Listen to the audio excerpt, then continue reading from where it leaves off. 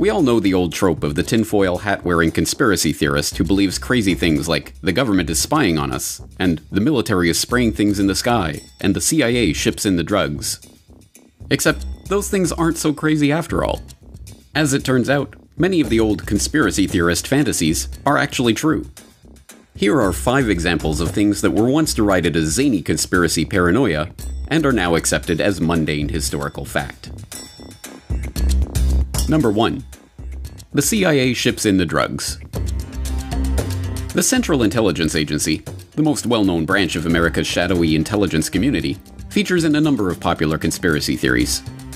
One of the theories about the CIA's dirty dealings that has been around for decades is that the agency helps bring illegal drugs into the United States. But this isn't just a theory. In fact, the CIA has been involved in drug running from its very inception. Just months after its creation in 1947, the agency began a relationship with the Corsican mafia that controlled the old port of Marseille in post war France. That relationship involved a quid pro quo. The CIA would protect the mafia if the mafia would keep the communists from taking control of the port. In this case, protecting the mafia meant protecting their most lucrative business, which just happened to be smuggling heroin into the United States. This French connection thrived for decades, with the majority of the heroin in the US in the post war period coming via France under the watchful eye of the CIA. From the Korean War to the Vietnam War and beyond, CIA supported warlords used CIA run airlines like Air America to ship heroin from the Golden Triangle at the borders of Thailand, Laos, and Myanmar. As even the New York Times reported, the agency prevented the Bureau of Narcotics and Dangerous Drugs from monitoring drug trafficking in the region, they even stopped an investigation into an Air America DC 3 loaded with heroin packed into boxes of Tide soap powder that had been seized on its way to the US. In the 1980s, yet more agency involvement in drug smuggling rings came to light. This time it was drug traffickers connected to the Contras in Nicaragua that received help from the agency. After the Contra connected trafficking came to light, a Senate investigation headed by Senator John Kerry confirmed government complicity in the drug trade. As for the CIA, it's denied ever aiding or condoning drug smuggling. Reports were reaching the highest councils of our government in the White House and in the Justice Department. There is no question of that. I can document that. There the White House and Justice Department disputed Kerry's report at the time, but he still believes some government officials turned a blind eye towards drug dealing in the mid 1980s, after the time at the heart of Gary Webb stories. In the 1990s, award winning journalist Gary Webb traced the Contra's CIA protected backers to cocaine shipments into the US and, ultimately, to the crack epidemic of the 1980s. Stories of CIA drug running continue to be covered up almost as quickly as they are exposed. From the CIA Beech 200 that was apprehended in Nicaragua with 1,100 kilos of cocaine, to the crash of a Grumman Gulfstream II that had been used for CIA rendition flights that was carrying 3.3 tons of Colombian cocaine. Then there's the CIA's relationship with Afghan drug warlord Ahmed Wali Karzai in Afghanistan, and the admission that the Sinaloa cartel was aided by US agencies, and the recent confession that famed Colombian drug king Pablo Escobar worked for the CIA. At this point, the fact that the Central Intelligence Agency has facilitated drug running into the United States is one of the worst kept secrets in history. I will tell you, Director Deutch, as a former Los Angeles police narcotics detective, that the agency has dealt drugs throughout this country for a long time.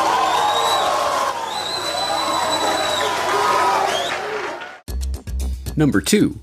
The government is spraying us from the skies. It is incumbent on everyone who wishes to remain in the respectable, polite circles of society that they deride all chemtrail theorists as kooky fringe nut wingbats, or whatever the ad hominem du jour is. I mean, who could actually believe that the government would ever coordinate a program to spray toxic chemicals on unwitting citizens? Except, of course, for the pesky little fact that the US government has done precisely that. Repeatedly, in fact. Like in the San Francisco Bay Area in 1950. The US Navy conducted an experiment they codenamed Operation Sea Spray, in which they secretly sprayed the population with Serratia marcescens, a rod shaped gram negative bacteria that just happens to be a human pathogen. And what did the Navy hope to accomplish with this experiment?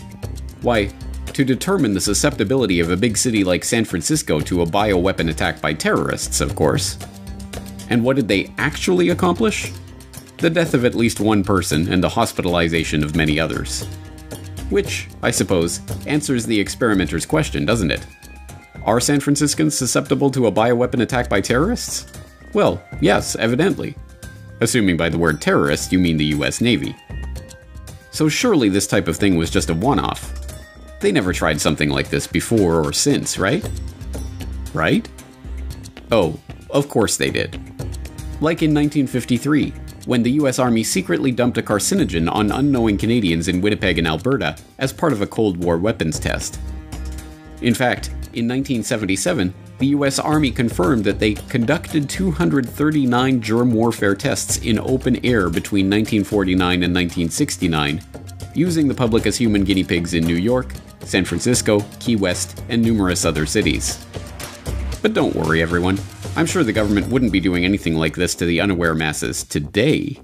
That's just crazy talk. KSLA News 12 discovered chemtrails are even mentioned by name in the initial draft of House Bill 2977 back in 2001 under the Space Preservation Act. But the military denies any such program exists. Jeff Farrell, KSLA News 12 reporting. And, you know, it turns out until nine years ago, the government had the right under U.S. law to conduct secret testing on the American public under specific conditions. Only a public outcry repealed part of that law, with some exceptions. Number three, governments stage terror attacks. Over the last decade, internet conspiracy analysts have brought the term false flag to the public consciousness. In naval warfare, a false flag refers to an attack where a vessel flies a flag other than their true battle flag before engaging their enemy. It is a trick, designed to deceive the enemy about the true nature and origin of an attack, and it has been used over and over by government after government for hundreds of years in order to motivate their people for war. In the 1780s, Swedish King Gustav III, looking to start a war with Russia in order to shore up his own domestic political power, dressed some of his own troops in Russian military uniforms and ordered them to attack a Swedish outpost on the Russian border. The ruse worked, and the Swedes, outraged at this supposedly Russian attack, gave the king the authority to launch a defensive war. In 1931, the Japanese were looking for a pretext to invade Manchuria. On September 18th of that year, a lieutenant in the Imperial Japanese Army detonated a small amount of TNT along a Japanese owned railway in the Manchurian city of Mukden. The act was blamed on Chinese dissidents and used to justify the occupation of Manchuria just six months later. When the deception was later exposed, Japan was diplomatically shunned and forced to withdraw from the League of Nations. In 1954, the Israelis hired a number of Egyptian Jews to plant bombs in American and British cinemas, libraries, and other civilian targets to be blamed on the Muslim Brotherhood or other malcontents. The plan, known as the Lavon Affair, was part of an effort to convince the British to retain their military presence in the occupied Suez Canal zone. Several bombings took place, but the British were ultimately forced out after Nasser nationalized the canal in 1956. In August 1964, the USS Maddox, a US destroyer on patrol in the Gulf of Tonkin, believed it had come under attack from North Vietnamese Navy torpedo boats, engaging in evasive action and returning fire. The incident led to the Gulf of Tonkin resolution authorizing President Johnson to begin open warfare in Vietnam. It was later admitted that no attack had occurred, and in 2005 it was revealed that the NSA had manipulated their information to make it look like an attack had taken place. In June 1967, the Israelis attacked the USS Liberty, a US Navy technical research ship conducting maneuvers off the coast of Egypt. The ship was strafed relentlessly for hours in an attempt to blame the attack on Egypt and draw the Americans into the Six Day War, but amazingly, the crew managed to keep the ship afloat. In 2007, newly released NSA intercepts confirmed that the Israelis knew they were attacking an American ship, not an Egyptian ship, as their cover story has maintained. In the fall of 1999, a wave of bloody apartment bombings swept through Russian cities, killing 293 people and causing widespread panic. Although blamed on Chechen terrorists, later that month FSB agents were caught planting the exact same type of bombs as in the other blasts. The government claimed that the FSB bomb was part of a security exercise, but the terror hysteria of the apartment bombings were used to justify Russian aggression in Chechnya and win public approval for a full scale war. Russian troops entered Chechnya the next month. In 2001, attacks in New York and Washington were blamed on Al Qaeda as a pretext for invading Afghanistan. In the months leading up to the event, American negotiators had warned Afghanistan's Taliban that they were interested in securing right of way for proposed pipeline projects, and the US would achieve this with either a carpet of gold or a carpet of bombs. The Bush administration's first major national security directive, NSPD 9, a full scale battle plan for the invasion of Afghanistan, including command and control, air and ground forces, and logistics, was drafted and sitting on the president's desk to be signed off on September 4, 2001 seven days before the 9 11 attacks. The invasion proceeded as planned in October. Naturally, mainstream commentators have to pretend that false flags and staged terror incidents are ludicrous flights of fancy that have no historical precedent. Unless they're talking about one of their enemies, like Russia staging a false flag incident. Then it's perfectly acceptable. Number 4 the CIA ran mind control experiments on unwitting Americans. Ever hear the theory that the government abducted people against their will and experimented on them to study mind control techniques and mind altering chemicals? Well, it isn't a theory, it's a documented fact. The US government did run just such a program, dubbed Project MK Ultra, and it was exposed in the 1970s. Or, at least parts of it were. What we don't know about Project MK Ultra and its affiliated subprojects could probably fill several warehouses with books, but what we do know is voluminous and scary enough. The formerly top secret program was as horrific as any dystopian fantasy ever devised, and is now openly acknowledged and documented. Even the Wikipedia article on the subject admits that the project was completely illegal, employed unwitting test subjects, and attempted to manipulate people's mental states and alter brain functions through the surreptitious administration of drugs, especially LSD and other chemicals, hypnosis, sensory deprivation, isolation, verbal and sexual abuse, and other forms of torture. Some aspects of the MK Ultra nightmare are relatively well known by now, one series of experiments, presided over by Sidney Gottlieb, involved administering LSD to unwitting Americans, including mental patients, prisoners, drug addicts, and prostitutes. This included Operation Midnight Climax, in which unsuspecting men were drugged and lured to CIA safe houses by prostitutes on the CIA payroll. Their sexual activity was monitored behind one way mirrors and used to study the effect of sexual blackmail and the use of mind altering substances in field operations.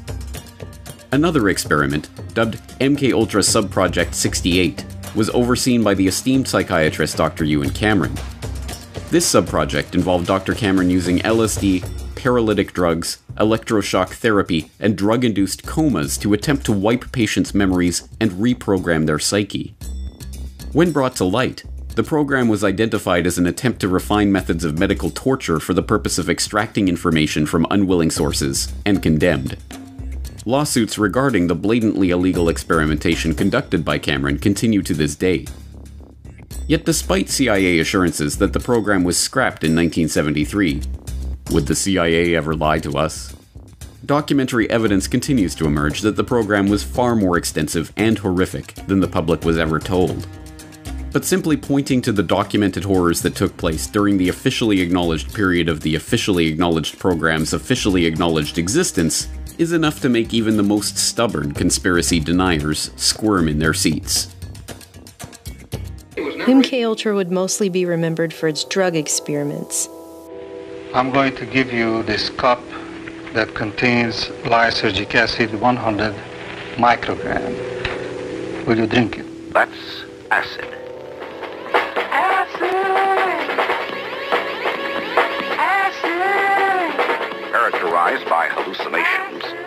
Illusions, distortions of perception and thinking.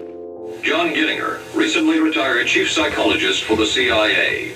We could disable a whole city by putting a very small amount in a water supply. Everything from prostitution studies to poisons to top secret weapons like the heart attack gun grabbed headlines with sensational accounts of the CIA's sketchy techniques. Have you brought with you um, some of those devices which would have enabled the CIA to use this poison for, we have indeed, for killing people. Good evening. The White House disclosed today that the CIA's drug testing program on unsuspecting Americans had been more expensive than the agency had admitted. CIA secretly funneled money through scores of research foundations, colleges, hospitals, and clinics, including a $375,000 grant through the Geschickter Research Fund here in Washington. The complex and compartmentalized management of such a large project through front groups and with the participation of countless agencies and institutions to carry out secret research, should be a testament to just how sophisticated and shadowy government science had become. Their names of doctors, their names of officials, uh, their names of former and present CIA officials who were involved, uh, names of hospitals. And uh, depending on uh, how you treat it, it could be sensational. Number 5. I don't like them putting chemicals in the water that turn the friggin' frogs. Female? You've probably seen the memes about it. It's one of the best known and most parodied conspiracy memes of recent years, constantly held up as an example of how utterly deranged and off base online conspiracy theorists are. That turn the friggin' frogs gay. Do you understand that? Turn the friggin' frogs gay. Do you understand that? After all, Everyone knows that chemicals in the water aren't turning the frogs gay, they're turning them female. Reports began to emerge on this phenomenon a decade ago, like this one from Live Science. Pesticide turns male frogs into females, which points out that scientific research is demonstrating that a commonly used pesticide known as atrazine can turn male frogs into females that are successfully able to reproduce. Atrazine, it turns out, is a weed killer used primarily on corn crops and can cause sexual abnormalities in frogs, such as hermaphroditism, having both male and female sex organs. The study from 2010 further discovered that atrazine's effects are long lasting and can influence reproduction in amphibians. The results suggest that atrazine could have potentially harmful effects on populations of amphibians, animals that are already experiencing a global decline. And despite the steady flow of funny memes this observation has generated, this is no laughing matter. As study author Tyrone B. Hayes of the University of California, Berkeley explains, the study suggests that atrazine, which is banned in Europe, could have potentially harmful effects on populations of amphibians, animals that are already experiencing a global decline. Though there's no mention of the frog's sexual preferences, pesticides are admittedly bending the genders of amphibians. And to top it all off, since atrazine interferes with the production of the sex hormone estrogen present in people and frogs, the findings could have implications for humans as well. But it isn't just atrazine. Over the last century, mass manufacturing of plastics and other products have meant that our environment is now awash in chemicals called endocrine disruptors, which, a growing body of research suggests, interferes with sperm production and may impair human fertilization. These chemicals may be one of the reasons that sperm counts are undergoing a dramatic drop in developed countries and other issues with men's health, including testicular cancer, undescended testes, and low sperm count. That's actually a pretty big deal. But I guess if you want to make trendy hipsters laugh, just tell them these completely admitted scientific facts about the pesticide that are wreaking untold havoc on our environment, and then do your best impression of a loudmouth Texan ranting about gay frogs. You'll have your friends in stitches. Just don't say it's a theory. In conclusion, in truth, there are many more examples of conspiracy theories that turned out to be true. From the US government knowingly injecting poor black sharecroppers with syphilis, to the CIA heart attack gun, to the anonymous letter that the FBI wrote to Martin Luther King urging him to kill himself. So, what other not so theoretical conspiracy theories do you know of? Let us know in the comments below. There has never been a conspiracy in this country.